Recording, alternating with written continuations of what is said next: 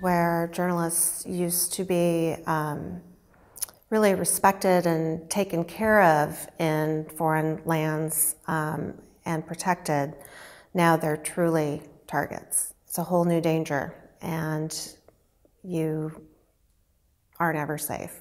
It's, it's a huge difference.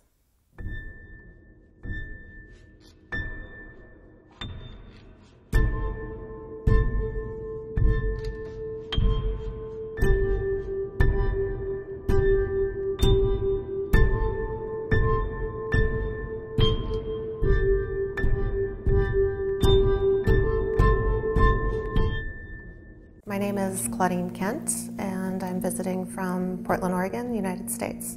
I actually knew David my entire life. We grew up in the same neighborhood, and then he went off and began this amazing career. And I went off and, and did my thing. And then in 2013, he moved back to Portland. He became my everything. He was my best friend, my soulmate, my rock, my cheerleader. He was my boy's inspiration. Um, he was my future.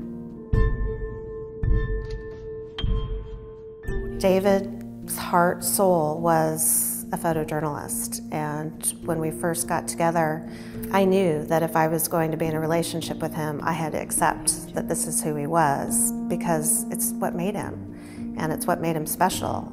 You know, if I'd asked him to ever stop or not continue, you'd been taking his self away. And so it really was who he was and he was driven in ways that I don't think most of us can understand or explain. I had not seen him in 20 years, and he was a completely different human being from when I had known him when he was younger.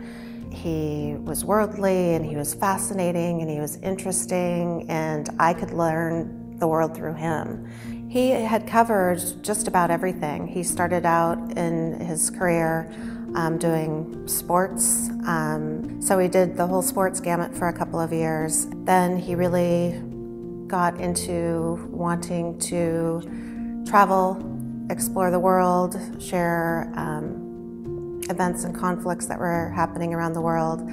And he had some opportunities to start doing that. One of his first big trips was covering apartheid. He just found himself kind of natural at covering conflicts. As a child, he was that fearless, risk taking child that terrified parents. And as an adult, as a photojournalist, that served him well because where most people would be too afraid, he went towards danger instead of pulling back. And he was just a natural with his talent and his courage and curiosity and passion and dedication to share with the world what was happening in places that most of us would never see or experience.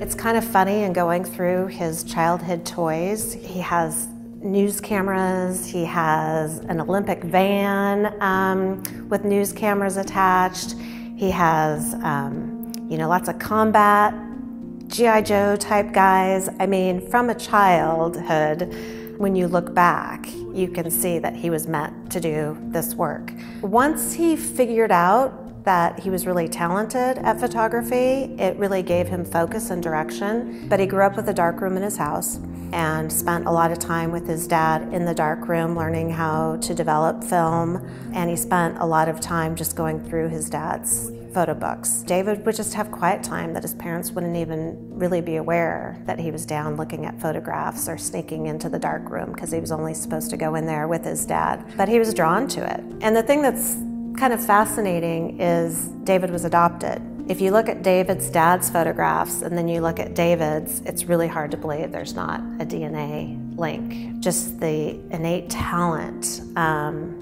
was just within David. He was an artist. He wasn't just a photojournalist. I mean, he was truly an artist and considered himself a, photographer first, and then the journalism followed thereafter. He loved a lot about his job. He loved the sense of adrenaline and ad adventure. He loved connecting with the people and getting to know not just the natural disaster the war conflict, but the humans behind what was happening. He explained to me once that once you experience that, you just want to keep going back. It's not like you put the camera to your face and therefore it makes what you're seeing okay, but certainly you can put yourself in the zone. It's it's I am doing this and what I'm doing is is not pleasant, but you just you march through it. I mean, it's it's hard, but you can't get caught up in it and become part of it. You still need to maintain your state of mind that you are helping tell this story.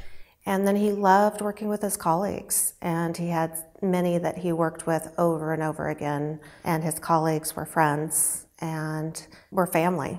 I think a lot of people saw him as fearless, but he acknowledged the dangers. He loved Afghanistan. He'd been the first photojournalist to hit the ground in Iraq and had spent years in Iraq during um, the conflict and then immediately went into Afghanistan. It became his second home, it became his passion. He had Afghanistan rugs and art in his home. It was someplace that he felt truly at home. He was always very reassuring when he would go. He would always say, It's not as dangerous as they make it out to be. It's okay. I'll be okay. I'll be safe. He would convince his loved ones. He would convince his colleagues, because oftentimes he was with colleagues that were terrified. So he kind of took on that persona to comfort everyone else. But deep down, he just believed in it. You can't really explain how somebody can keep putting themselves in harm's way and sleeping in horrible conditions and you know not bathing for six weeks at a time and being in 120 degree heat and dehydrated and gunfire coming at you and you just can't explain why somebody would keep putting themselves into those situations unless it's just who they are. One of the amazing things about being embedded and working with U.S. forces and sometimes other other countries, uh, ISAF, which is the international forces, but but mainly U.S. forces is who we embed with. But um, is just how intimate you are with the subject. I mean, he definitely knew that um, because of the Taliban, now ISIS, and internal conflicts, that it was an extremely dangerous place, and where journalists used to be really respected and taken care of in foreign lands and protected, now they're truly targets. It's a whole new danger. You are never safe. It's, it's a huge difference. David felt a lot of pressure with being a photojournalist, especially in the last few years. David, the years that we were together, was um, very concerned about job stability. So it doesn't really matter how many awards you've won. Um, he would say, I'm as good as my last award. And for him, the awards and accolades didn't mean anything other than job security. He thought it was horrible that he could win an award and get national attention for human suffering. One of the main reasons the Ebola epidemic is out of control here the corpses. Teams from the health department can't pick them up fast enough. These men belong to one of only four body collection teams that work in Liberia's capital of Monrovia. With the way the world is now, the expense um, and cost of sending journalists into these conflict zones there's an increasing pressure to produce great photographs, um, interesting stories, and so there's a tremendous amount of pressure on these journalists when they go into these areas that it needs to be worth the news organization's money. And um, there's some tough calls sometimes. David suffered from PTSD. That wasn't recognized by his employers. And on this trip, he was struggling, he was being triggered, and so he knew himself that um, he wasn't in a good place, and he voiced to me and to his editor that he um, was considering coming home. David never, ever talked about leaving a job assignment. It was unbelievable when he threatened to come home. And I really believed in my heart and soul he was going to be told to come home. So after this trip to Afghanistan, we learned a lot that we didn't know before during the trip, and it really pointed out how different it truly was based on this team making decisions that didn't follow standard protocol. The producer was very nervous about um, going out on this patrol and voiced her concerns, and she was with two veteran the correspondent and David, the photojournalist, were veterans at this. They wanted to get out and do the story and convinced her um, to take this risk. And on this trip, they sat at a town hall um, for three and a half hours with the leaders of um, this massive conflict um, all in one spot. And so they were sitting targets, um, trusting the general that the road was clear for this patrol is not normal, isn't standard to trust Afghans on the ground. The team just wasn't behaving um, with good thought process, and I don't know if it was because of the pressure um, or why they took the risks that they took. They were there to show that the Afghan troops were managing the Taliban and we're making progress. The general wanted to take them out on this patrol to show that they had cleared this area and it was safe, which it obviously wasn't. So they were there to tell a story that didn't really exist. The Afghan troops aren't beating the Taliban and they're not taking control of the region. We're staying with them, we're sleeping with them, we're eating with them, and we're going on patrol with them every day. So that is a very unique look as if we spin back to what we were talking about early on in the conversation, it's it's a it's a look that you have you only get by going there. And that's how we can say, look, we know for a fact that the Afghans are doing this by themselves this year or last year as it was, and they'll be doing it again this year. They're they're really in the lead because we went out and we took the time and fortunately were invited in to a space where most people aren't to see what they're doing and how they're doing it. David's last hours in Afghanistan um, are a little unclear. You have to get to the point where you resolve yourself, you'll most likely never really know what happened. Um, since you're doing with the Taliban. The FBI has been involved since day one. What I know is that um, the journalist team was sitting at this town hall meeting, and somebody at the meeting called ahead to the Taliban to say that journalists were going to be coming through, and they were waiting for them.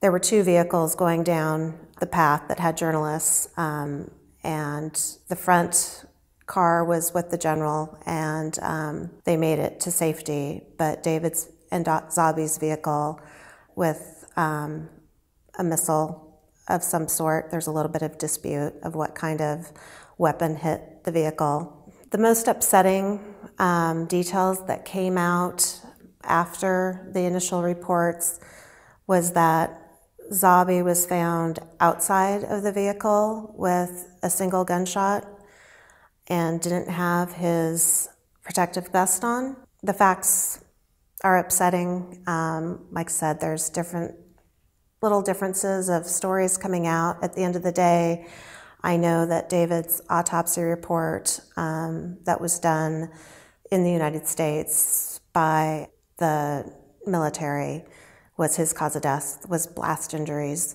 David had a fake flower in his hand. We're guessing that it was, you know, something that was hanging in the Humvee, and it was clenched in his hand. And the coroner said that's a good indication that he was killed instantly because it wasn't released. He was actually clenching it instead of it being released. It's interesting because David wore was known for wearing silver bracelets on his wrists that he would gather around the world. And he wore about six or seven normally. And he had shared a story that whenever he'd have a close call, he would take one of his silver bracelets and toss it into a body of water. And when I got his belongings home, one bracelet came back. His cameras were destroyed. They were eventually recovered, um, but they can't get any photographs off of them, so there's no pictures if he took pictures to say what might have happened in those final moments. I really don't know about his um, his final hours because it was him and Zabi in a vehicle together, and neither of them are here to share what happened. And the other two journalists that were in another vehicle couldn't see their vehicle. Um, they really have no idea. It was hours and hours before their bodies were brought back, so they really don't know what happened in that time frame either. I found out about David's death from a friend texting me to say, I'm so sorry to hear about David. I was on my way to meet his parents at the time I got this text, and I just, I couldn't process it because in my gut, I knew something was wrong. I had sent him a text right about the time of his death that I said, um, Are you safe and bored? Or are you in the middle of something exciting and in danger? And I didn't hear back from him. And I just had this sick feeling. I just, my gut just I couldn't focus, I couldn't do anything. I just knew something was wrong. And so I, when I got this text, it confirmed what was going on in my gut, but I couldn't process it because I was supposed to be the person that was contacted. So there's no way this could, could be true. And I immediately just started screaming to my children to turn on the TV, turn on the computer, and I was hysterical. And screaming at them. And on the computer was the famous picture that um, was later shown everywhere with the headline of him being killed. It was the worst moment of my life. And then my first concern was what about his parents? Like, do they know? How would they know? And so I drove over to their house, and when his mom opened the door, I saw his sister in their apartment, and I could see David's dad, and I knew they knew just by their faces. Um, and David's mom had gotten an email and she'd gotten an email from Human Resources that said, You need to call us. It's about David. And I was keeping her posted of where they were and what they were doing. Um, David was very careful to never tell his mother what he was doing, but I would share. And so she knew as soon as she got that email. And so she called their human resources department. It wasn't anybody that knew David, it wasn't the CEO, it was somebody in the human resources department that told her that her son had been killed in Afghanistan.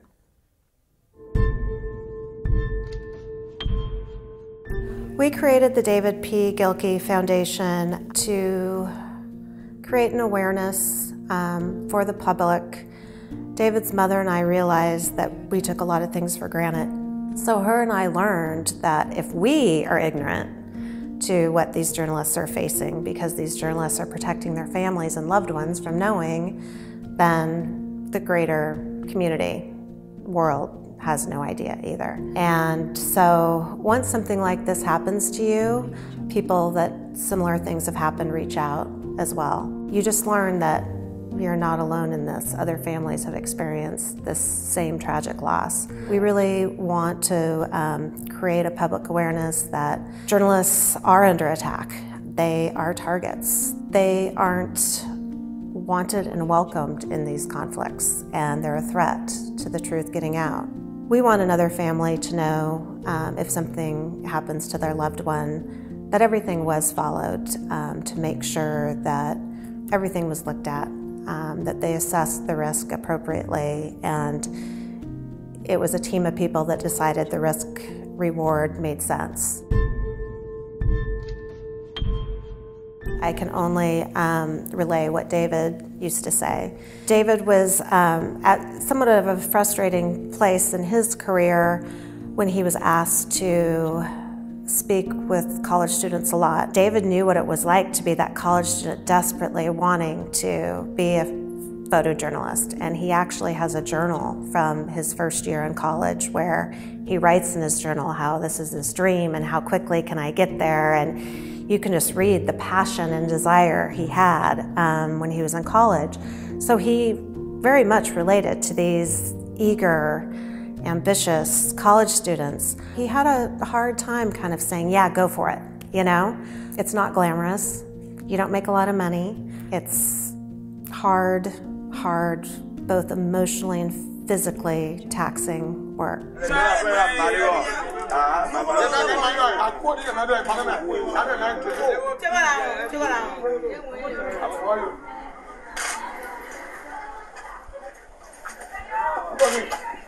David's body, after doing this for 30 years in the film, bad back, bad knees.